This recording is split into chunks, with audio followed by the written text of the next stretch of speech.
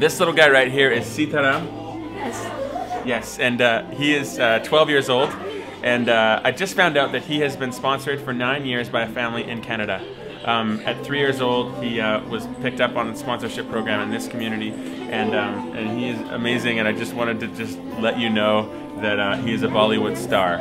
He dances like a little Indian Michael Jackson, and um, and he told me that he was going to teach me some of his moves. So we'll see how that works out. But I wanted you to meet him and know that your sponsorship dollars can do stuff like this, and a little guy like Sitaram change his life forever and give him opportunities that he never would have had, which is. Uh, amazing considering he's going to change the world by dancing. One, two, three, four.